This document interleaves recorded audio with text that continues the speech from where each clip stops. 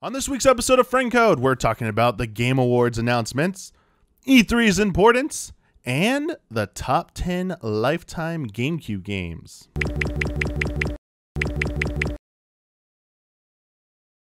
Hello, everyone. Welcome to a new episode of Friend Code. I'm your host, Michael Damiani.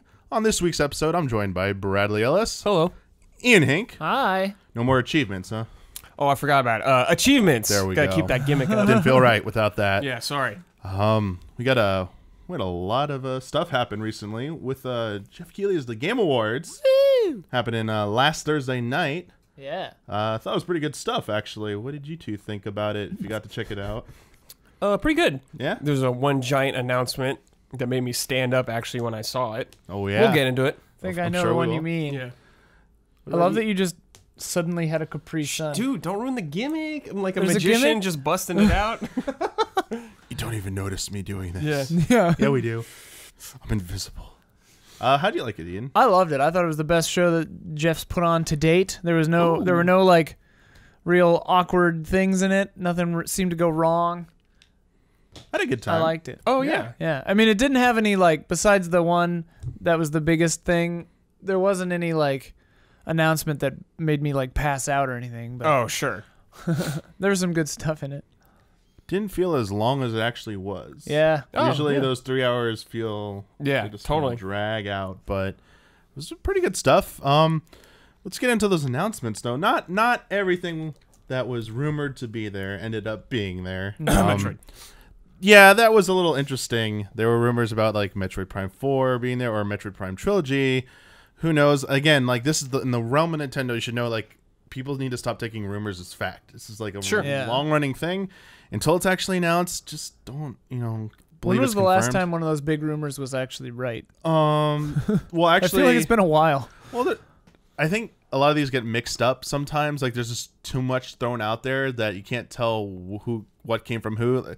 Like the Smash rumor, like we all the Grinch leaks that we covered. Like all that was wrong. But like before that, people were talking about Incineroar and Ken. Like that was out there, and so I was like, no, no, no, it's just it's just this, and people were like, nah, that's too simple. It can't be that. And it was Incineroar and Ken Yeah, were like yeah. the last ones announced, and I was like, okay, I guess you were right and stuff, but. Um, there have definitely been things that have been completely right. There have been things that have been really wrong, and it's just just the nature of it. Just for, for every right one you get, there's going to be plenty of that are Yeah. wrong. So No don't, Gino. yeah, I wouldn't use that as good investment advice. But there were some announcements. There were some good announcements at the Yeah. Game Awards, and I want to start with uh, what I thought was the first big one: the uh, Marvel Ultimate Alliance Yeah, dude. Three, Oh. coming exclusively to Switch in 2019 Blows my mind. that uh yeah i saw that marvel logo roll i was like oh what are we getting because it showed switch first it switch then marvel i'm like okay here we go and uh marvel ultimate alliance this is a this is a series that's been going on for a while but it's been absent for about 10 years Yeah. uh previously it was published by activision I remember, yeah. um it was a multi-platform Yeah, it series was on like everything, right? it was like, on Xbox everything and like PS2. yeah, it, but uh, it was uh Raven Software did the original console versions, Oh. and then it got ported to Wii and other systems after, like a few years, a f- a little bit after, and then the sequel, uh, Marvel Ultimate Alliance Two, was uh, Vicarious Visions. And then a company called n-Space used to do all the DS and like Wii ports for a lot of stuff. Handled uh, a lot of the other versions for it, and uh, yeah, it was a pretty big series and stuff, and then just kind of like vanished, and now it is back nearly ten years later, and uh, it is being developed. So I just gave you who developed and published it. It's being developed by Team Ninja this time, Yeah. and published directly by Nintendo. So no Activision in the That's equation. so here. weird. Team Ninja? Yeah, Team Ninja. How do you feel about that? Team Ninja making It's this. cra- th- That's crazy, and that it's exclusive to me is nuts. Yeah. It's so good. Nintendo had to probably throw a lot of money Yeah, at this to yeah. get that exclusivity. Smart play, probably. I'm really excited about this. When was the last time they did something with Team Ninja? Was it Other M? Other M, um, they also have done. Uh, I forgot they did other M. Yeah, what was the other one they did? I mean, they have They a good, Neo, they, though, too. they have a great Yeah. working relationship with uh, uh, Koei Tecmo Okay. for uh, the the Musou games. Oh, okay. Uh, yeah, it's like Fire Emblem and stuff like yeah, that. Fire Emblem and then And uh, Hyrule Warriors. Yeah. they, they like definitely a good working relationship there with them. Okay. So I imagine the process went. Nintendo got the exclusivity. Hmm, this is you know w- the style of game. Who would be best suited to it? Oh, Yeah. Koei Tecmo is Team Ninja available? Yeah, let's work with them. We like them. You know, good good working Yeah. relationship. Um, how did you think it looked uh, visually? I saw it and I was like, oh yeah, that's really a Switch game. Yeah. when I saw it. Yeah. It looks yeah, it looks like I don't know, Pokemon Let's Go. like you know, it looks like the Switch could run it well. Okay. um, I, I've seen some comments online. Mm-hmm. Definitely echoed that. It looks like a Switch game. Um, I've seen some comparisons to uh, uh, Marvel vs. Capcom Infinite about Oh, the visual really? style being a little bit similar in the like similar the art vein, design. and also that's why it seems a little off-putting to some people Hmm. because of that. Maybe, yeah. Yeah. I'd have to take a closer look at it. Yeah. Yeah, I mean I only saw the trailer when we were watching the live Yeah, like I rewatched Game it. It Awards. didn't look as bad as my initial reaction was. Probably because we're watching on a stream and Yeah. stuff. Mhm. You know the quality of that. But uh, yeah, I mean, it's on Switch. It's an exclusive. Well, and I it- it definitely didn't look amazing, but to me the Marvel Alliance games aren't about that. It's about getting a whole bunch of people on the screen and just like being Wolverine or Yeah. whoever or Psylocke or whoever you want and like fighting bad guys. And especially if you can do it with four player co op, it's gonna be so cool. and that was a yeah. The four-player co-op playing on your Switch is that. That's going to be awesome. Uh, they showed a little bit of the roster as Yeah. well. We saw members of the Guardians of the Galaxy. Saw some Avengers. We saw Wolverine. X Men, and, and you know like 10 years ago that wouldn't have been a big deal because they all you know they're all part of the marvel universe. But nowadays in the wake of you know the fox properties uh, supposedly going to disney you Yeah. know it's like the deal's gone through just gonna like wait for it to be legally approved escrow or whatever it's called. yeah but the x-men have been separated from the marvel universe because of that and this thing of having avengers and, and an x-men together finally after so long is like a big deal so Is this, seeing- the- this is like the first thing that we've seen of that. I'm right? not sure it's the first ever thing Well, not ever, but like since the Fox Marvel. It's pretty high profile. Yeah. I would give it that. Yeah. And I think it got a little bit of an extra like oomph of cheers. They from sort of did it in Deadpool, kind of. Deadpool had the. I'm not the sure sh- who owns Deadpool. It's confusing. Well, Deadpool was uh Fox as well. oh, it was okay. Yeah, and they used the Fox Some X-Men Right. shot. Yeah, yeah. yeah, yeah, yeah. Um, yeah. There's some concern about what will happen to Deadpool. You know, going over there. Mm. You know, no, no more R-rated, perhaps. But we got some. uh, Whoopsie. we got some questions about Marvel Ultimate Alliance Okay. from our patrons. Uh, Kerbu, who in their right mind could have ever predicted Nintendo publishing a Team Ninja developed Ultimate Alliance sequel? How in the world did a deal like this come together, and do you think it's a sign for weirder, more unexpected things to come out of Nintendo? I would have not have seen that coming at all. Yeah. I thought Marvel Ultimate Alliance was dead because it's been forever. Uh, the Team Ninja collaboration is not surprising me because they've done in the past. Uh, what was the other part of the question? What else do we Um, see happening? Yeah, what other like strange, unexpected other things strange do you things think could are see? possible now? I'm ho- secretly hoping for a new Zack and Wiki. So I'm secretly hoping for, Capcom. but I don't know about that. you know they could just bring out the original one remastered. I know, man. Just do it. Give it another chance. do it. It's great. They had so much buzz and stuff, and people just never know. jumped on board with that game. Oh man, didn't they? They had they had like Ninja Gaiden three, Razor, and On or whatever. Wii U? Yeah, Yeah. they could do that. They gave that. yeah, maybe you get Ninja Gaiden on Switch. Yeah, what if they just like re rebooted Ninja Gaiden as a Switch exclusive or something? Whoa. Nintendo? Yeah, if Nintendo was offering to fund it and stuff, make it happen. I don't know, like Bayonetta three. Yeah, what happened with Bayonetta? Yeah, Yeah. otherwise it'd just be a, a, a sitting around dormant Yeah. franchise. Yeah, I'm better, not better that than nothing. Yeah, Soul Reaver. I'm calling Soul it. Reaver. Ooh, I'm calling it. Some uh, Legacy of Kain. That'd be there. sick. Talking with Square Who owns that? Is that Square That's Yeah. Square Enix. Square Enix, yeah.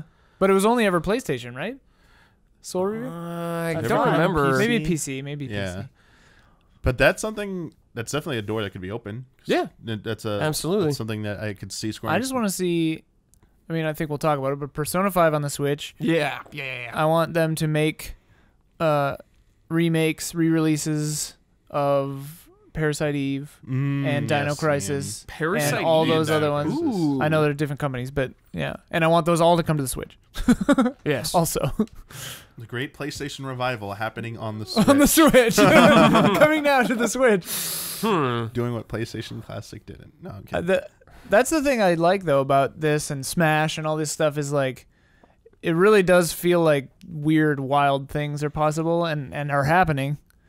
That I I, like wouldn't it. have expected. I really like that feeling. I wonder and if believing that, yeah. I wonder if they could do like a Castlevania on Switch. oh, Since the Belmonts are in it now, Oh, like Brad. the possibility is kind of there. It seems like. Yeah, it doesn't have to be Symphony of the Night, but It could just be like a definitely new 2D one or something. I'm something like snacking that. on that. You know, just starting small or something. I don't think it'll be a huge 3D one right off the bat. I would love another just straight up pixel Good. art. yeah, Get Games to make it. Yeah. Yeah. Yeah, dude. Oh, dude. can you imagine if they made like an Aria of Sorrow, Castlevania Symphony of the Night kind Yes. of game for the Switch? It'd be oh, awesome. baby. Oh yeah, I'm down for this. I like these ideas. The thing Good that blows stuff. my mind about this is it's it's called Ultimate Alliance 3, right? Mhm.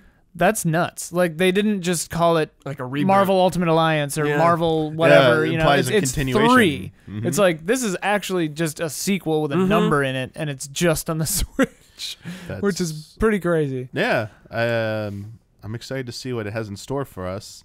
Uh, this next question, I, I like it because uh, I covered part of this on uh, an episode of Pop Fiction. Ooh. Tanner, hey allies! Back in 2006, the first Marvel Ultimate Alliance was a launch title for the Nintendo Wii, likely writing some of the massive sales numbers of the console itself.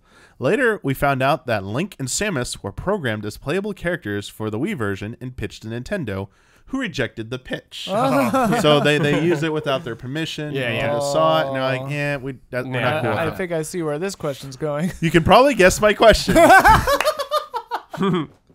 what is the likelihood of playable Nintendo characters in Ultimate Alliance 3? And who would you personally like to see? I would see something and respect. m- sorry. Slim. I would see something more likely uh, what they did with Diablo, like having a certain set or something like that. Yeah, the- like a the skin. Ganondorf set. Yeah, I could see something like that more so. Yeah. Like Samus outfit or something for Mm-hmm. a character. I don't know about like playing actually as Link or Samus though. Or like I could see like on a Guardians of the Galaxy stage, you have to like fight a mother brain or something, like a Metroid Oh, yeah, or something, cool. like That'd be a cool enemies. Yeah. Like, yeah, like one of the powerful enemies. Uh, they actually, part of the sentence I cut off, the one of their suggestions is one I would like to see Captain Falcon Oh, from F Zero. Yeah. Uh, yeah, it kind of fits into like the hero yeah. the, the iconic hero uh, kind of template there. Mm-hmm. Also Kirby, because there seems to be this weird obsession after the World of Light trailer came out and Ah. Kirby survived. Then people wanted to know like how powerful, like how powerful is Kirby really? And then people like. Kirby could take on Thanos by himself. like, here, like, here we go. So, play into that like joke there. Yeah, you know, people are just memeing that. I would Kir- love it. Kirby just Kirby Marvel just eats universe. Thanos. yeah. Bloop, burp shoots him spits out. out the glove. That'd be funny. Yeah. I think what Brad said is probably most likely. Or I, I would see enemies, but maybe not playing as. It'd be cool. It depends on how canon they are considering it to be. You know, like Mhm. I imagine it's. It would, if anything, be Ultimate Alliance canon, not present cinematic universe canon, obviously.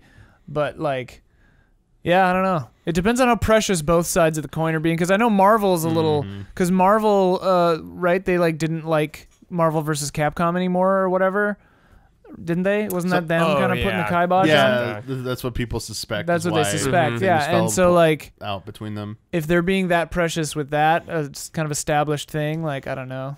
Yeah, I wonder if maybe that was part of the pitch Nintendo did to them is that hey, you know, we'll do what you want, but also we have these really cool characters. If you'd like, if they can, we can work them in in whatever fashion you think makes sense. Maybe just like a bonus for being a game. Hey, now you can go through and play as like some. And it is Nintendo exclusive. characters. The fact Yeah. that it's ex- exclusive maybe leans toward yes. I mean, if not that, I think like cosmetic stuff like outfits, yeah, yeah, something for like that could definitely be Mhm. thrown They in there. seem more likely to play ball Yeah. now than kind of ever. It seems like with their IPs.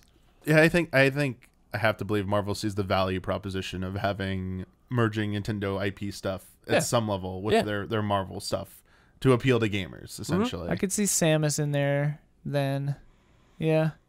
yeah, Link and Zelda are tough because it's like they're so embroiled in a whole other timeline. it's like, uh, it's a little too fantasy. Yeah, yeah. For, I think or the the sci-fi vibe they go for. with that, Bayonetta could show up. Maybe they can They reimagine. could have them. Fox in there. I don't know. Yeah, definitely. Can Or reimagine I'm trying to think. Star Are there Fox. any Nintendo like mutants? Like Mutants. any any Nintendo Well, any mean- classic Nintendo character could they be considered a mutant? Kirby kind of maybe. you know what I mean? Like a like a Like- X Men mutant. Yeah, like a person Yeah. with like powers or like an Avenger style. Yeah. Hmm. Yeah. I wonder. Not from their main core, like Donkey Kong, Hmm. Mario, Zelda. Donkey Kong's sort of Star beast Fox. vibes. Doesn't speak English, Yeah. really, kind of. I think like yeah, I'm thinking Pokemon, no. Because I was thinking of like a, like Mewtwo's creation and stuff. Right. With Giovanni Yeah. was like a science experiment, but I don't want to call that like a mutant per se. I could see Pokemon showing up, maybe. Yeah, they would love that. I bet Marvel would love. Oh my that. god, yeah. Mm. They That would love that. Pokemon access. um, on the flip side, um, Mewtwo and Jean Grey facing off. that'd be pretty cool. Come on. Psychic plate. Yeah. Hey, you caught a Jean Grey. it was very effective. Uh, ben wants to know: Does Marvel Ultimate Alliance three being Switch ex- exclusive make it more likely we could see Wolverine in Smash? Yes. Yes. Going the other way. Yes. Yes. In fact, yes. I had not thought of that. that would be so awesome. Simple answers, good. Because Mhm. we're gonna dive into that in just a second. That would be about so possibilities. I just wanted to throw it out there I for liked fun. Brad's idea. We'll get into it, but Brad had probably the greatest character idea ever. Oh yeah, we'll get into it. Yeah, yeah, yeah. Mm, Cannot wait to hear that. But uh, I'm guessing this was, might have been Brad's uh, stand up and clap moment you were referring to earlier from the Game Awards. Oh yeah. Yeah. Next, probably the probably the biggest announcement of the night. Uh, Joker from Persona 5 joining Super Smash Brothers Ultimate uh, as Well, part they- of the first fighter pack. They did it with such a flair, right? Because it like interrupted the the clothes or whatever. It was he almost like doing. Cyberpunk's. It was- Uh, everyone thought it was yeah, Cyberpunk, yeah, and then it's like- red. And then we see like Joker, and they're talking about the Switch, and we're like, "Wait, is Persona Five coming to the Switch?" And we were like, Mhm. "Ah!" It and was- then and then you see the Smash logo, and we're like, "Wait, what?" You yeah, like because they're Blew talking my about like mind. doing a calling card, like, but this time we're the ones getting the card and stuff, Yeah, the yeah, invitation, yeah.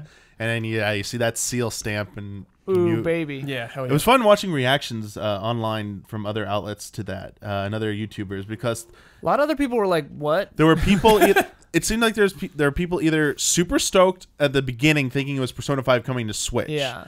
but also some people really upset. They're like, "Really? That's it? Persona 5 is coming to Switch? That's your big finale?" Yeah. And then like the dramatic shift at the invitation part to people being jubilant. Oh yes, Joker's in Smash 2. No, where's wait, is Persona Yeah, 5 yeah, yeah, coming yeah. to Switch? Yeah. No. Uh, we, we take it as good evidence that it may come to Switch. Yeah. and there are rumors. Uh, like last day, uh, day or so, rumors have come out. People saying that yeah, Persona Five is coming to Switch under one of two names. Forget what they were. Um, not cr- not 5 Crimson. Golden. Not Crimson Oh. was not one of them. And, I hope it's uh, like new content though. we'll see. You know, Uh, Ben or somebody was saying that they hope they do the um, Persona Three thing where you oh, can the, play as a oh, woman. the portable. Thing. yeah, there's yeah, Persona Three Portal let you play as a female protagonist yeah. as well. and it has like some different And then there was- situations, right? and if then they there do was that, I am all in. FES, yeah, the FES didn't have that. console though. version. Yeah, that just let you like walk around uh, Yeah. more and uh, different opening and uh, what's the other thing? Uh, oh, I don't want to get a correction for that. But uh, I only played Persona 3 Portable. Oh, my I played defense. I- FES. I, I played through the entirety of Portable, and I love that game. Have you played really four? good. Um, I played a lot of four. Yeah, I never beat four, but I, I, really I, I beat it. in four, and I played a majority of, of it, but I like skipped over because I was doing it for an episode of Pop Fiction. Ah. so Oh, okay. I didn't have time to play through the entire Gotcha. game. So played about like 30 hours of it, Okay. Which is a good amount, but I got- not even halfway. I got really into it, and then I hit a brick wall, Ooh. and I had like no money or items, and I was like, "What am I supposed to do?" I do feel like three, especially three, three felt a little bit harder than five in terms of challenge. I will say Three? that. Yeah, Oh, three? dude. Oh, yeah. I think just going through Um, Tartarus itself. yeah, isn't three one of the harder ones? Yeah. Anyway, whatever. we could talk about Persona for a long time. Joker's dope. And it's yeah, gonna great be character to add. Super cool. So we got some questions about this now. Right. Like, what does this mean? What's going to happen in the future? Like, people are excited. Just like what Ian was talking about. Like, almost any crazy thing can happen on Switch. Now, any crazy thing can happen in Smash Brothers. Yeah. And Benjamin first asked, "Do you think Smash DLC characters will all be tied in with yet to be announced games for the Switch, like Persona 5, or could there be a chance of seeing representation from games already on the system, such as could Solaire roll into Yeah. battle? He That already was- has Yep. an amiibo. That was Brad's Yeah, that's like- suggestion. It seems yeah. really It obvious to seems me. very clear that Solaire will roll in. like that'd be a sick character to add, man. And, like If I a Dark Souls level would like be the Undead Burg oh, or the dark! something. Oh my god! be awesome. and the music, The dude. music? Can you imagine Mhm. Smash-ified Dark Souls music? yeah, Oh, do yeah. it. I would buy the fighter pack, and I don't even love Smash. But you will. Oh, I'll buy the hell out of it. Um, yeah, I think I think that they'll all be non-Nintendo. Sure. like um, they'll all be third party. Yeah, I Yep. think they'll all be surprises. Oh yeah, I was saying to the guys the other day that I'm really proud of Nintendo that they learned their lesson that they didn't put data of these characters in the game already so that it could get data mined and spoiled cuz like that moment was so beautiful that none of us saw Joker coming and it just happened and no one data mined it. And I was like, "Good job, Nintendo. Mm-hmm. Don't put your hidden characters in the game before they're in the Yeah. game." They did the same thing with uh, Cloud before. Yeah. No Yeah. one knew Cloud was coming. at Yeah. All. But Yeah. like Ryu and a bunch of other got like leaked, right? So like Ryu back in got the day. leaked because they did the update too early, and hackers were able to get access to it. Like they basically Right. did the announcement after the update, Right, okay. and people were like streaming it already. Like hackers were streaming Ryu playing in Smash and stuff. Because Ouch. Brutal. yeah, now Yeah, that that I don't think they don't do that anymore. At least they do the announcement before the, Well the before. update hits and stuff. Yeah, because so- do we know when this is coming out? It's like no, we still don't have the date it's yet. like next year. We know Yeah, five sure of them are year. coming out between now and uh, f- Q- February of next year. Oh, yeah, he fe- sorry, February of 2020. 2020. We're not in 2019. I remember he said he said they may take up to a year or more to come in. Please be patient. I remember. Oh, that. yeah. Piranha Plant doesn't count, right? It is one of them. uh, no, it's not one of the five. It's Okay. You get part them of for Cool. pre-ordering or Yeah, playing yeah. in the I first just didn't know if they month. counted. yeah, them or and no. then it'll it'll be available after for Cool. uh, for purchase. Cool, cool, cool, cool. Um, yeah, but uh, I I agree with you, Ian. I think I think at this point I get the vibe that none of them will be first party. Yeah. or if they are, it will be an unreleased. I can see it either being from a an un, only being from an unreleased uh, first party title, such as Fire Emblem Three Houses or Sure. Pokemon 2019. I could see, Mm-hmm. Yeah, one new of Yeah, yeah, Pokemon for sure. but I definitely think third party stuff is more likely now, Well, and and we- stuff we weren't considering before. And we know that Sakurai didn't do these. Well, that they're like chosen by Nintendo, right? yeah, more that that whole that whole sequence. Um, I would say at this point, don't read too much into it because there were some disputes over the translations of it. Oh, okay. I believe someone from it was either Sakurai's wife stepped in and said, "Please, like, like something about like." I think said something to the extent that the English media is like reading too much into this statement. Mm-hmm. Um, and clearly, this announcement shows that even if it is was all true, Nintendo's clearly pushing like excitement and hype Good, yeah. over yeah, yeah. you know self promotion, Right. Which I think is a really wise decision. Mm-hmm.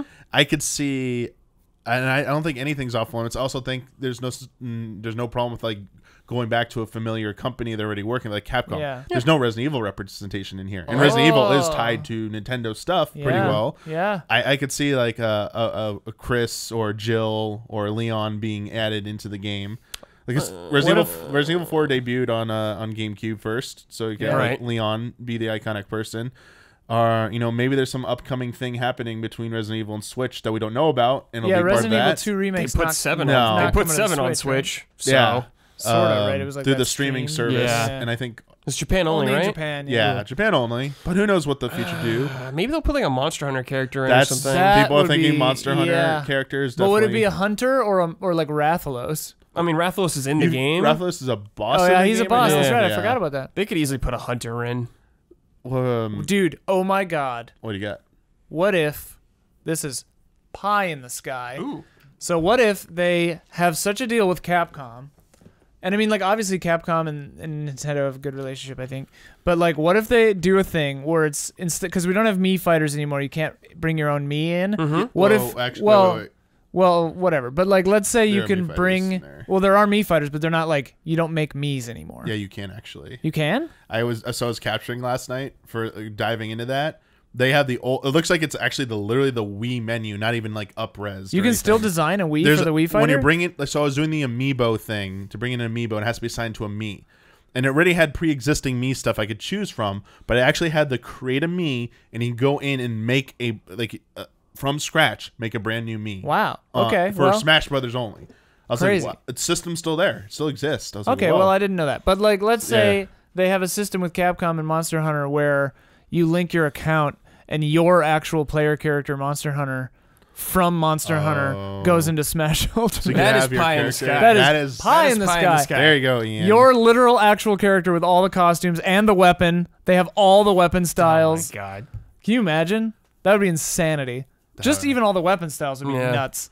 But yeah, hey, it's possible. with Ian. your Possible. like status effects, possible. my poison Ian. insect glaive. Uh, I they someone said recently, I believe, that they heard they hear fans about Chrono Trigger. Yeah, And, uh, right, dude. Yeah, right. I want it so bad, but I don't believe it. I'm not getting baited again. I want Chrono or Frog or Ro- I want anyone from Chrono Trigger in here. So if they if they just put the port a port of Chrono Trigger on Switch, just like on the eShop, Yeah. like the the enhanced one, but it Right. looks good and everything. And as part of that, they say next Fighter Pack three coming Stop out this it. summer Stop it. is the Chrono Pack. Stop Chrono it. in there. Nope. And you get a level. Don't hype and you me get up that now, man. Chrono Trigger Don't remix oh, music. how dare you say this to me right now, Damiani? uh, Final Fantasy Tactics. uh, Oh, like but Would Ramza? I mean, good, yeah. yeah, Final Fantasy Seven remake stuff. Because already have Cloud in there. Yeah, they could Oh. put Sephiroth. could they really put Sephiroth in? His blade is so long. That's the entire level. Hey, they can put Ridley in there and scale Ridley down. That's true. You're Just right. make us, uh, yeah. You're that's right. Um, Dante. You Devil May Dante, Cry, Yeah. even though it's not coming to Switch, Yeah, they could maybe put the collection on Switch, Mhm. the HD collection, and put like Dante in there. Yeah, there's a whole. There's a lot of characters. if they get man. Kingdom Hearts shit in there, I mean, that's It'll like the blow one my I've mind. waiting- That's We've been talking about that But forever. that's in January, and they ran already announced Persona, so it'd have to be. And there's no Kingdom Hearts. oh, coming I don't on- think it would be till yeah. like the end. yeah, It- We'd have like basically. I think there has to be some hook uh, to it. Mickey. It's King Mickey. But then again, it doesn't have to because the ultimate crossover. What if Persona 5 never comes to Switch? I know Yeah. Joker's technically in uh, the 3DS uh, Labyrinth game, uh, the sequel one. Like oh, the- Q. Yeah, Q2? Oh, yeah, actually, Yeah, it's like Q1? Q two or something. It's not Q one. He's not in that. Does, does that, like, in, like, Cloud was technically in Chain of Memories on Game Boy Advance. Yeah. So did you, like, is that, and like, do we really need to, like, go, like, that six degrees think- of Kevin Bacon I don't think we nonsense need to to get now. to I don't the, think we do. Like, I don't think we need this weird Nintendo logic. It has to be representative of Nintendo. no. I think we're beyond that Yeah. now. They can do Yeah, yeah, whatever they want. This is like, Like I wouldn't be surprised. industry fighting game. I wouldn't be surprised if like Cuphead showed up.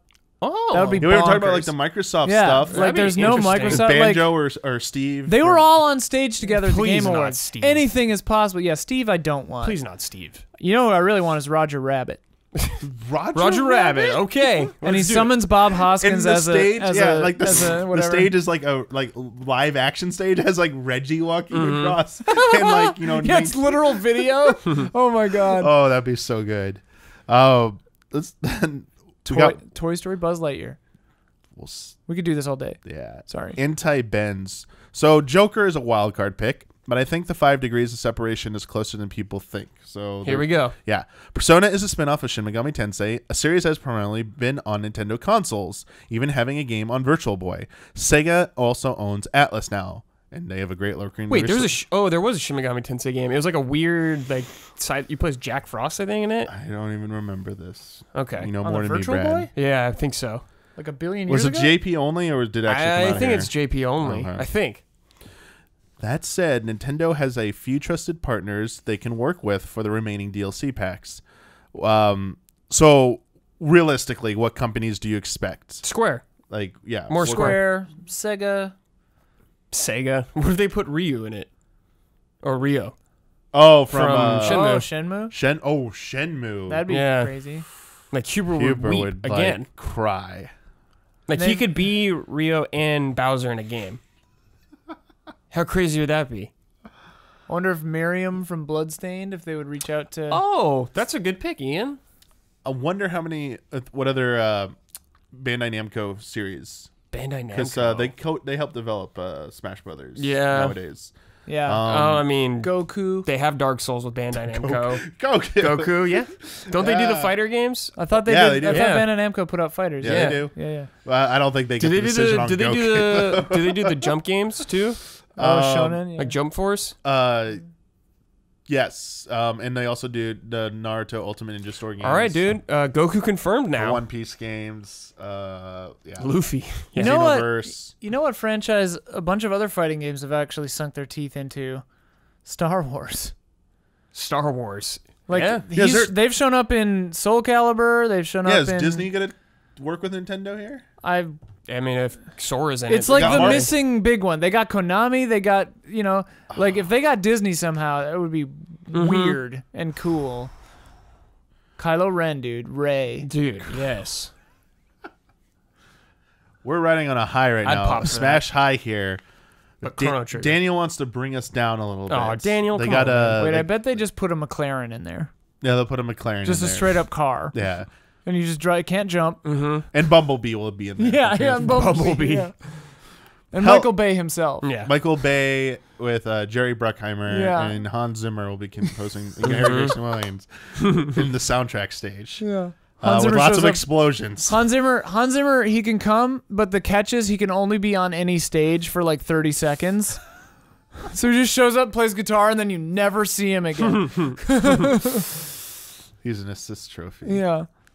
Daniel says, Ultimate has been my first Smash game ever, and I'm absolutely blown away by how much I enjoy the game. The announcement of Joker being the first new character to join the already huge roster has me pretty excited, but there's a problem. Oh, Here's their problem. I am not a fighting game pro or aficionado, and just enjoying the game on a casual level. I'm also only playing online against others, and so far it's a lot of fun because there are many players who are like me, are not good, but enjoy their time with, with the game. However, we know that the first character is at least a month away, not to mention the other new characters that will follow, and I fear that by the time they are out, the player base will become more and more Smash Brothers core players than casual players. Do you think the game will still be fun to play for casual people online by the time the first DLC character comes out? As well as by the time the final character hits the roster. Thanks as always for the great content you and the other always produce. Love and respect. Hmm. Yeah, I think it's I think they're right. Like online is probably going to be tough for newbies, but I think it's like any anything where any online game. Yeah, where like any new release will bring an uptick of of the more casual user base back to play the new thing, and then it'll wean out again. You know, Yeah. and it'll it'll ebb and flow like that every time. To me, Smash Brothers is a local like couch co-op game first and foremost. So, and from what I hear from Ben, the online isn't rock solid by any means. Oh yeah. Yeah. Uh, is there like matchmaking and stuff? So okay. Like rankings and stuff? Yeah, like I mean, there there is there is a preferences thing you can do. Um, when you go into quick play and try and use it, more often than not, it straight up ignores Oh, what you okay. say. It the system favors getting you to a match faster than making you wait for preferences. I see. which is drawing a lot of ire from the mm-hmm. community. Interesting. There is a wait in the background option, which will always give you what you want, uh. mm-hmm. and you can do other things. And I found myself not waiting more than like sixty seconds for Okay, that. right now. But it's yeah. so weird that if you do it through quick play, it'll instantly find you a match, but it's almost never what you asked for. Strange. So, and there is no way currently to do. Uh, there's like no just straight up one v one lobby or anything like that. It's it, that's kind of like frustrating. Yeah. Uh, If you go into quick play, you're honestly going to get four player matches almost all the time. Wow, really? I thought there was a one by one by There- one. You can set it in your preference, but that's gone. There used to be there used to be for glory and for fun, and in for glory there was a one v one like s- like straight up hardcore mode essentially. Uh. Even Oh, in the quote unquote like ranked hard like like pro style matches, you could still get four single player four people against each other in a free for all. It doesn't always guarantee you're getting a one v one. So there's there's a lot of backlash against But in the, the preferences, you can set preferences you can set, for one you can set like how many stock you want, Oh, okay, time okay, limit and okay. stuff. But if you go through the if you if you stay online and wait in the queue through quick play, you're more than likely not going to get the more complex you get, the less chance you're going to get into that type of match. It's probably just going to throw you into a, a free for all four player match. If you do matchmaking in the background and you go do other stuff, it, in, in your little like right bar menu, there's like a progress uh, meter with like the the icon of your character you picked. So like I picked Samus for most of them, so it was like a Samus helmet, and this is this little green bar that fills up, and it just like says, "Oh, match found." Now taking you to the match, and just goes right in. Like I was literally starting a match of uh, Richter versus Simon uh, in this normal Smash, and they were dropping in, interrupted me, brought me into the match. Uh, it was actually the one Wi-Fi match I did that actually had a Decent connection. very good connection, uh, almost no latency. I was surprised. The only time it ever happened. um, so it was like one of the best Wi-Fi matches I had. You And were it- on Wi-Fi? Or? Yeah, I was on yeah. Wi-Fi, so I was trying out both to see how it is. Ba- Yeah. Basically, Wi-Fi is almost virtually unplayable. Yeah. Oh, And through Wired, uh, you can get pretty good matches, but more often than not, it's because it's dependent on other people's connection. Um, you will get up to like the best I can say is maybe a half to a quarter second of like input delay. it feels lord. like, and so it just feels bad. sluggish. That's bad. for a yeah, fighting game. And for a fighting game, it's really bad. It's it's still playable, and like if you just take it as like chaotic fun, like when we were doing last Yeah. group stream, it's just fun, like just goofing around and seeing Yeah. what can happen. But if you're trying to play seriously, it's probably not the place for you. I Yeah. see. Um, But to answer the question, I think people will swing up. Yeah, Whenever when- there's a new when- character. Yeah, exactly. yeah, um, yeah. The question I think of all the online games, first party online focused Nintendo games. Splatoon and Smash Brothers will be the ones that carry the longest. I know Splatoon's on its like end game right now. It's going to be closing shop next year in terms of like no more updates. Yeah, I think the online it'll still go. still have yeah, online, yeah. but no more content updates. They're they're going to do a Splatoon three. It's Oh, like, of and it'll be huge. Of and it'll be course. supported for a E3, long baby. time. They Yeah. do support all their online games. Like Mario Tennis still gets content updates, even Mario Kart 8. But I think in terms of player base is what they really care about. I think this will have the largest active player base of any of the games for Yeah. the longest time. Yeah, yeah. Sure. And those new character dro- drops are gonna see a spike. Yeah. Oh, people yeah. jumping back in for sure. Um, rest of the announcements from the Game Awards, there were no Metroid announcements. Right. Those have been rumored stuff. They didn't happen. We think Um, there's that'll come in a January direct. Yeah, we got to get a direct at some point Who because knows? only New Super Mario Brothers U has a confirmed date in January. Every other game that's been announced for 2019 has either no date Oh. or we don't know about. Like even Yoshi doesn't have. I was about to ask you about Yoshi. They've been working on Yoshi for a long Yeah. time. I feel like. maybe this is the year probably. But we did get some other uh, games that are coming to Switch, uh, not exclusives. Well, one's ex- well, no, none of these are exclusive. Uh, Mortal Kombat 11 got a big announcement. oh wait, that's coming to Switch. multi-platform. Now it's with Switch logo on there. Whoa, so I didn't know that. day and date, big title coming Wow. there. So that's like a That's big big. That's a big deal. It's also going to help them with sales. Like a lot of these Yeah. fighting Oh, games yeah. are going to benefit from being on Switch day and date. Uh, Crash Team Racing Nitro Nitro Yeah. Fueled, a remaster of uh, a remake Crash Team of Racing. Crash Team Racing Yeah. of PlayStation. I'm pretty excited about that one. Uh, curious if uh, Nitros Oxide will be intentionally playable from uh, the get go instead of a, a thing you had to use a cheat code to get. Yeah. Uh, the the other big one, well, I, it opened the show, so that's why I call it big. Sayonara Wild Hearts Oh yeah. uh, music rhythm st- uh, style action game that it's described as a euphoric music video dream about being awesome riding motorcycles skateboarding dance battling shooting lasers wielding swords and breaking hearts at 200 miles per hour Oh my. I from- forgot about that one, but it looks so cool. from studio Simogo yeah looked pretty cool uh, probably will definitely check that out. it that looked out so cool. It looked cool. Cool. Um, yeah, that that kind of like wrapped up the, the the announcements there. Um, I do have a question regarding the third party stuff here. Uh, from John. Do you feel like Nintendo is starting a turn? Uh, sorry. Do you feel like Nintendo is starting to turn a corner with third-party releases? Ultimate Alliance 3 is such a great get for the system, and Joker will steal the headlines. But perhaps overlooked is the fact that Crash Team Racing and Mortal Kombat 11, of all things, were unceremoniously announced for Switch alongside PS4 and Xbox. It seems devs are realizing this isn't a flash in the pan, and maybe it's not as expensive to develop before after all. Should we expect this trend to continue, or have we just had a rush of friendly devs? I Love and think it'll continue for a while, Yeah. at least until the next generation of consoles comes out, and if they can actually transfer it down that much. Right. That's a good point, Brad. Right. Because yeah, once once people are making stuff for the PS5, Yeah, yeah. and like Persona, there's already a PS3 version of that game, so they should be able to do it easily. Mm-hmm. Oh yeah, Persona Five. Yeah, Yeah, I, I think for games where so Unreal as long as they're on Unreal Four and the Unreal team they they are trying to push uh, the Unreal Four engine to scale to Switch. They keep posting Yeah. updates. It is getting better. They, they've seen how successful Switch is. They're working with Nintendo and other publishers to get it you know into a better place so that's easier to port these games. I think as long as those games run on that engine um, it will be within the realm of possibility. But there will always be some games, I think, where they don't want the performance hit to, if it's going to be that significant, they just don't want it to happen. Right. Example mm-hmm. is Resident Evil 2 Remake and Devil May Cry 5. Right. They are not coming to think so, Switch. yeah. I don't think either of the games in their, in a traditional format will come there. They might do the cloud version in Japan again because it's Capcom. They might try that out. Yeah. Maybe not with Devil May Cry, but for Resident Evil 2 Remake, Yeah. like I don't see Kingdom Hearts 3 probably coming to Switch, no, sadly. I don't think so. And they're just gonna be those higher end titles, but for a lot of these other titles that are still triple A but aren't necessarily pushing the boundaries of like the, the visual fidelity and technology, I definitely see it mm-hmm. to their benefit, especially Oh, like yeah. fighting games. Like, there's no reason any fighting game should skip Except Switch. for the network connectivity, apparently. yeah, well, that's a whole Yeah. other story. The weird, the weird thing with that though is like I think about, I think about the games you just said, and then I think about Doom and and Wolfenstein, and, they're it's like they're on Switch and they work okay. You Uh-huh. know, they scaled them down, like it works. Yeah. and I- Doom is a good looking game.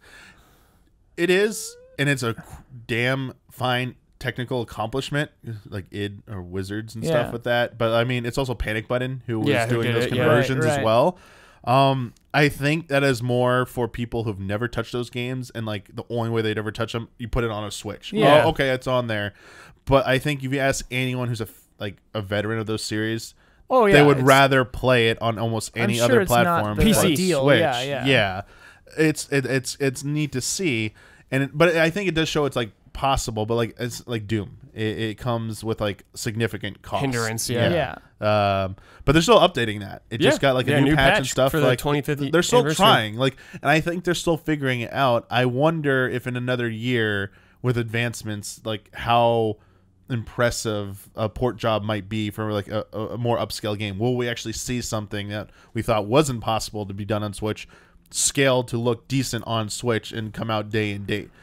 The funny thing that I just thought about actually, um, well, is because yeah, like optimization and how you design your game and the graphic style is obviously very important. But kind of back to your comment about when the PS5 and whatever come out, those are leaning on cloud computing, and the Switch is basically the perfect receptacle for cloud computing, like you were saying with, mm-hmm. with Resident Evil Seven and stuff. Like this thing is built. I mean, not not purpose made, but if they were thinking forward, you know, this thing could play anything if it's being housed in a server farm. You know, like every game could come to I the mean, Switch. Yeah, and it would be great. that that's that's possible.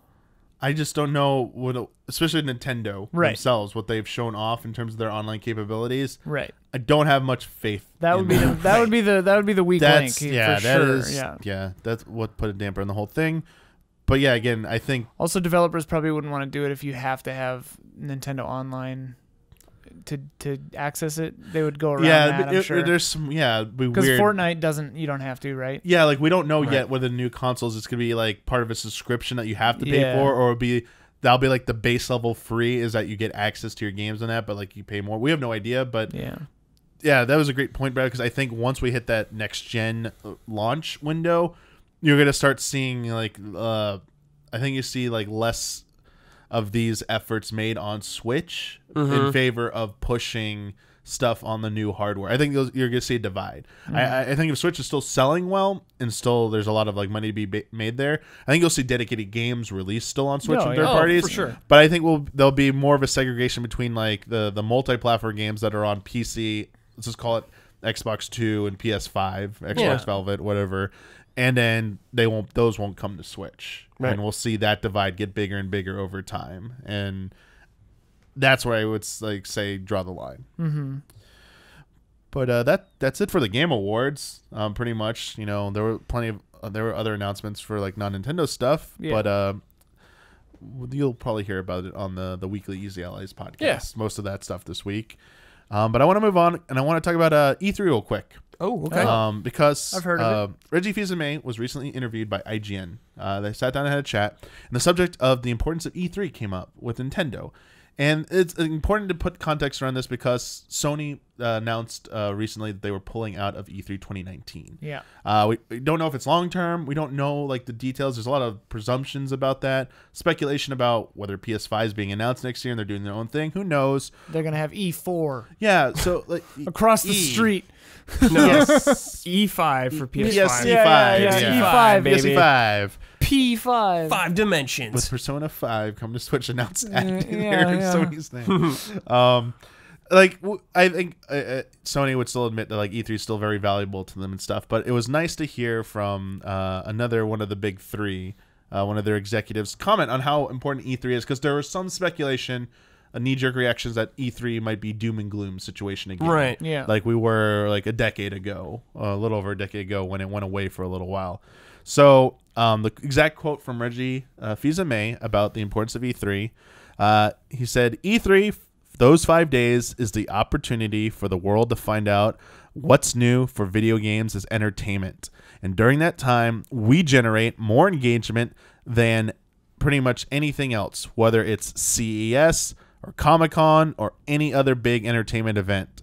People tune in to find out what's new and have first playable experiences for our industry. That is why E3 is important to Nintendo.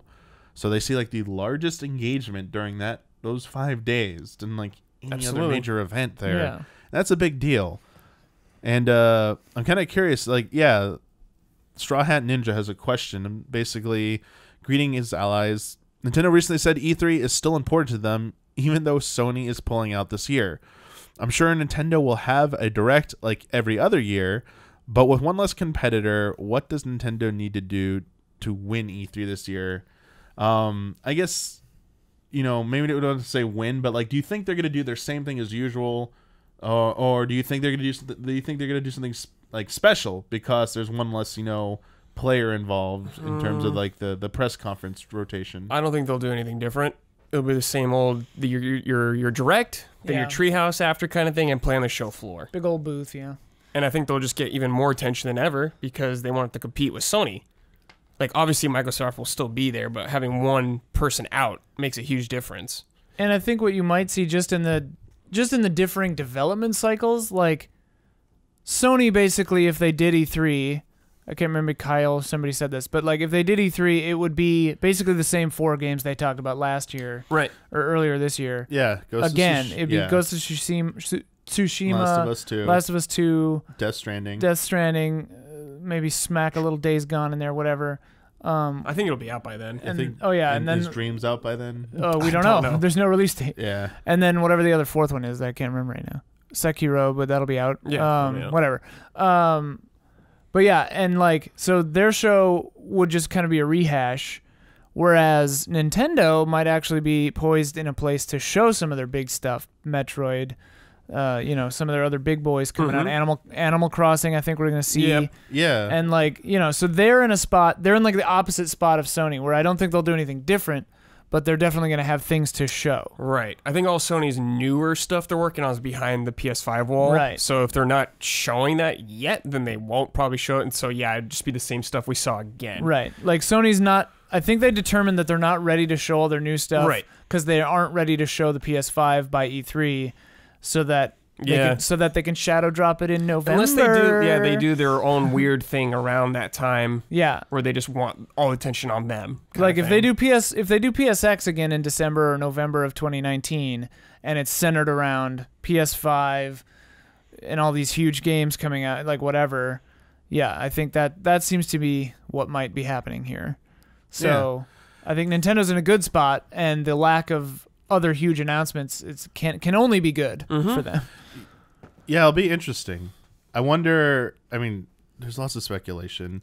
Sony, perhaps Sony got wind that they found out they know when Microsoft's going to announce their new console, and maybe they found out it was going to be at E3. Yeah, And maybe they don't want to like compete with like that. They want their own event. Who knows? But I think it's interesting for Nintendo because there are a lot of like known quantities in terms of like what we expect to be there. You mentioned a few, like Animal Crossing, Metroid, Pokemon 2019. yeah, oh Mhm. yeah, yeah. There, there's definitely at least three high-profile titles that we expect there. huge game. Um, there's also expectations, at the very least, uh, that some like other stuff probably needs to be there. Um, it's going to be over two years since we've had announcement of any kind of any new Zelda, I was gonna Yep, say, yeah, some and uh, that's yeah. going to be like one of the longest gaps from an announcement. Not even a release, just an announcement of anything new officially.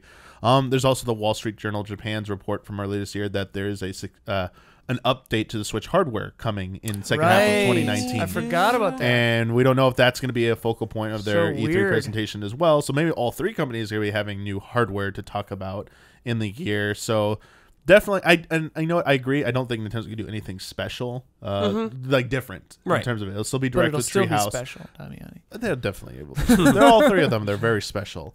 Um, but I, I wanted to ask, like, I wanted to wrap up this segment by asking, uh, you know, thinking back to when Nintendo announced their big change from ditching uh, live press conferences and going to this format, Press conference. Yeah. um, the direct. Um, I, I I think it's like hard pressed to disagree with that like decision with them. I don't Yeah. know why all of them don't do it. That, Like- that, that, that's, yeah, that's like, ask at this I, point. do I don't feel like- remember. yeah. I don't remember what my initial reaction was with when they announced directs. Maybe I was like, "Uh, but press conferences though," and but now I'm just like, why is anyone doing something that isn't just a direct? You seem it would save you so much money, and like, sure you don't get to have a thousand people in the room and see that reaction, but I I can't see that being that valuable to them. Ian, But I don't know. I think times have changed that all that comes from just different places now. Yeah. The reactions and cheering come from like people like us or other people who right. react online. It makes it that much easier if you don't have to be there in person to like, you know, so many more people can cover it because you know it's being streamed now. Whether that's live or not doesn't change that but like that helps that. But it helps journalists and people who cover the industry when you don't have to travel there sit there try and do like updating from like a seat you know with like so many people around you. When you can do it from the comfort of your office or home whatever a direct like presentation means you don't have to be there in person there's no physical place to go Well- it makes it easier on the industry to do their yeah. jobs And like from a production standpoint, y- there's no risk of anything weird and bad happening. yeah Uh, like even if the stream buckles, you just like throw it on YouTube. It's fine. Like, and you can make a direct for thousands of dollars instead of hundreds of thousands of dollars. And like, you know, I've always been. I've said this before, but like even back when we worked at Viacom and it was like they were doing burger bashes and stuff. I'm like, give us this money. I know like tax write-offs, it's different, but it's just like. It, it feels like a waste, and I, I don't like to see companies just wasting money. You Sure, know? yeah. I'm like, put that money into better things for me, Yeah. you know? And like obviously press conferences and stuff are good for for us because we react to them, but like I I think I think that a Sony Direct or an Xbox Direct would be just as hype as a Sure, yeah. Maybe even maybe more hype cuz I mean I think back to the best press conference that I can recall and that's Sony's from uh 2015. yeah, whatever. Yeah, Yeah. like when they had all the God of War stuff, and it was basically just Oh. it was they had the orchestra Okay, right and yeah, it was yeah. basically just it was basically a direct because it was just thing after thing after thing after thing with music and it was a really well-oiled machine and a beautiful show and basically it was a direct but just with some stuff on a stage sometimes yeah there was and there- like the flow of it definitely yeah like that, and it's yeah. like so they that's the best one and you could do that kind of hype stuff in a video Mm-hmm. Devolver does videos, obviously. Uh, Bethesda Still freaking freaking should do videos. One year they did a direct, but they had a stage for it, which was very strange. but um, yeah, I don't know. I don't know why anybody doesn't do just directs. You can work in things that aren't possible in the live presentation. I mean, Like Star Fox like there are puppets. people, like there are people, yeah, like the yeah, Star Fox puppets and the uh, uh, robot chicken stuff. Yeah. Yeah. like before. You do collab like cool collaborations like that. Um, and some of the things people worried that wouldn't be there, like you can still have a concert or like a live yeah. concert. Just have the orchestra playing music and go like shoot them at a place and working Right. in like like imagine like you had like a composer from a game like hi I'm here at like whatever symphony and stuff and you know I'm here to introduce this and they start playing the music and stuff and like you don't need a live crowd reaction for Yeah. that Right. It- well, and like yeah. you can you can have your cake and eat it too. Like let's say you're Microsoft or Sony or whatever. And like yeah, I do understand that having the press conference is a really good reason to get a bunch of industry people in the same room. And that does have value and obviously that's important and you do want those live reactions, yeah. But like just have a direct and a party. mm-hmm. You know? Maybe screen Yeah. the direct at the party, but you don't need to stream the party. You know? that makes You can have both. I feel like. That used to be the old argument, I think, Ian. The whole like argument for why live press conferences needed to happen at E3 was uh, it was something about like the the big boys, like the the CNNs and the Covering it yeah the, Oh. the USA you- like the- today, whatever. New yeah, York stuff like Times, all that. stuff. Yeah, Gets NBC, more attention, blah blah blah, maybe? would only pay attention to like something like that because of like the cool reactions, like the cheering audience and executives walking out on stage. Yeah, yeah, yeah. And I don't know if I buy that so much anymore. I feel I like that things are going so much. Yeah, think yeah. Or if it matters. Like if CNN, no, they definitely still cover it, but the, it's, Yeah, it's but all like- digital. They don't need the Right. yeah. and also like CNN doing a story about Joker and being in Smash is like no one watching CNN cares. like I don't know. Maybe I mean that's probably wrong, but I mean, yeah, I, I, I guess it just wraps into the point that I think like t- times have changed. yeah, I, and I think we live on the internet. people now. keep uh, like arguing that like E3 needs to change. I think it just like in terms of press conferences, that's what just needs to be. Everyone just needs to do directs. It potentially lead to more companies doing it. Yeah. like we saw this year, Square Enix came back and did one after being Right, a few yeah, years. yeah, yeah. Imagine if like Capcom did one or Sega did one. You know, Right. it don't have to be an hour long, like twenty Right. minute, thirty minute direct. Just have a day of directs and stuff. yeah, It'd you be, like schedule it out and it's like you're watching TV. all It'd be day. awesome. be like, crazy. I'd love that. It would be the Sure. very tiring for I want us. that to like happen and stuff. You know, maybe one day we can convince Valve to come back and make games and do a direct. Hey, they made Artifact, all right. I hear. Artifact was actually good. I don't know. Oh, know. it was just sad because I was watching the, the no clip Half Life documentary. Okay. And the Oh, beginning yeah. of it, they just like, yeah, there's a Dan Dwyer talking about how uh, Valve just would not return any of his like Yeah. emails Oh, no. or calls. They just didn't want not did not want to talk about Half Life. I just want Team Fortress 3, man. We'll see, but uh, yeah, it's good that Nintendo Portal still Three is what I want.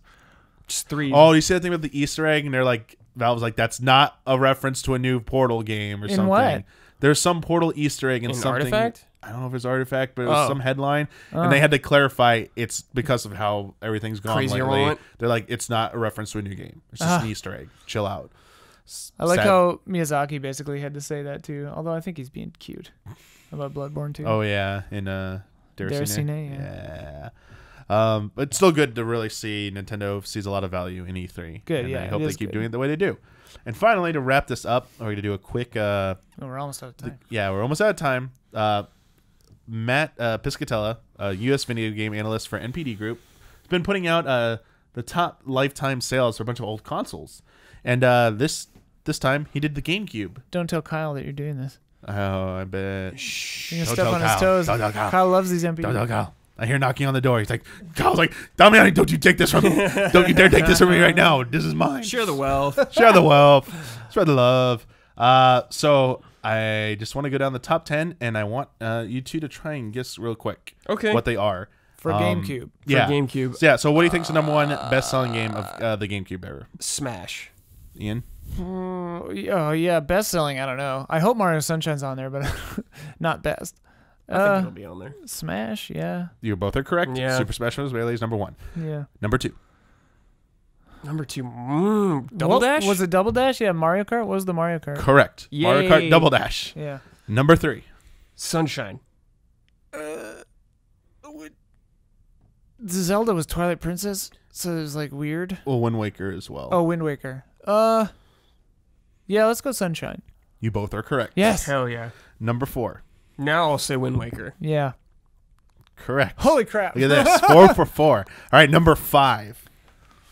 Now it's getting harder. Mm, number five. Resident Evil Four. Resident Evil 4. No, I don't think it's number five or Too whatever. high. Yeah, maybe too high. Shoot, I don't know, man. Pick something. I'll GameCube. Uh, sure, Resident Evil 4, whatever. All right. Nah. Ah. Number five, Luigi's Mansion. What? Oh yeah. Uh, I guess it's a launch Launch game, title. Uh, number six. Yeah. Rogue Squadron. Whoa. Uh. I don't even know. Okay, I'm blanking now. Think of uh I mean, think of like popular series and stuff. There's always like an entry on GameCube and stuff from either first or mostly third party. Not all third parties are on there. Hmm. Tick tock. Yeah, I don't know. All right, number six, Metroid Prime. Oh wait, I was gonna Oh, say is Metroid I Prime? on totally there? forgot about Prime. Yeah, nice. I played them on the Wii, so I don't. Oh, right. Yeah, yeah. I didn't know that they came out on there. There's seven, dude. I'll give you hints this time. It is it is a first party series. Uh, Kirby. It debuted in North America on this platform, but it debuted in Animal Japan. Crossing? Oh yeah. All right, number eight, a third party series. An iconic third party series. Iconic. Is it Resident Evil then? Nope. Dang it. Is it a fighting game? Nope. A mascot? Sonic? Sonic? Oh, is it the the, uh, the the like the remake of the Dreamcast one or the whatever version Sonic it's called? Adventure or DX? Is that what it is? Sonic Adventure 2. Yeah. Oh yeah. yeah, Alright. Sonic I forgot. Yeah, Adventure. yeah, yeah. Almost there. Number nine, a first party game came out very late. One of the last first party Twilight games. Princess? Princess. Yeah. Yeah. it's gotta be. Number yeah. 10, one of the greats. One of the greats from RE4. Resident Evil 4? Shoot, dude, GameCube game. One of the actual greats? Hall of Greats entry. Shoot, Oh, what's what a in Hall of there, Greats. dude? Oh no. Besides Resident Evil remake. Oh no. What is it? First party? First party. Paper Mario? Oh, and the Thousand thousand Year year Door? door. Yeah. There you go. Yeah, duh. All right. So you guys kept saying Wow, that was Resident number Evil. 10? Yep. Wow. You kept saying Resident Evil 4. Resident Evil 4 clocked in at number 18 Ooh, Ah, I Still see. pretty good. Okay. on GameCube. I beat it on See why I GameCube went and both Wii. at I'm pleased Toy Princess is in the top 10. Yeah, good Oh, yeah. Especially because it came out later It on sold- GameCube. Good job, TP. It did sell. It sold out pretty much. Yeah. Of its run. They I did one print run of that. How long after did it come out on the Wii at the same No. time? No, it was like a That month was the original Yeah, it was like a plan, month and it- later. It came out a month after. Because I remember waiting. Yeah, it came 'cause out a didn't month have a after, and there were roughly like one or two million copies available for sale, like worldwide, I think. Oh wow. And they like sold out of all of them, but Jeez. still sold pretty well. Got one still. Yeah, got one too. Three versions of that Good game. stuff. That's gonna wrap it up. Fun stuff. Yay. That was a good. That was Thank fun. you for Yeah, thanks joining for me having this us. week, and thank you to everyone who submitted questions. Thanks, this week everybody. for uh, episode of Friend Code. If you'd like to submit a question for consideration for a future episode of Friend Code, uh, you need to be a five dollar and up patron. And uh, the week that we are recording episode, I will make a Patreon post calling for your Q and A submissions. Um, I will also tell you the topics we will be discussing on that week's episode. So keep those questions related to the topic. I saw some people get a little bit more sneaky and creative this time, like talking about Joker and then going into a complete tangent Oh, about something you. else. How dare you? I was like, nope, not, not gonna get past me this time. But uh, yes, if you That's just our job. We go on the tangents. Yes. around Yeah. Keep them on topic, keep them concise, better chance that you'll get selected for that. And also, if you're a five dollar patron, you get this episode uh, and other episodes of our Easy Allies content early. Uh, this episode, or sorry, episodes of Friend Code go up Sundays uh, for early access for patrons. Uh, Tuesday for if you're watching this on Tuesday, it means you're a public. But anyone who does give us any amount for Patreon, thank you so much for supporting us and making our content possible. Uh, thank you both for joining me again yeah. this week. Of course. And until next time, may the way of the hero lead to the Triforce.